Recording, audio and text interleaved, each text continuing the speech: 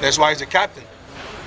One thing about PK, if players go to the plate, the way PK prepared himself, started the pitcher, make sure every every back count, uh, there's gonna be a lot of good players, a lot of good hitters. This guy preparing himself very well every day. And like I say, he say all the time, the only way I can help this ball club is hitting. I got to do the best I can hitting. And not try hitting home runs. Uh, a couple days ago, he had a base hit up to the middle when we need him. The big RBI situation, you know, try to jank the ball. He's a professional hitter. That's uh, like Hawk say. I said a couple days ago, that's why he had a $16 million house in Scottsdale because he earned it. And he worked every penny he making because every time this man go to the plate and go to the ballpark, he's ready to win games.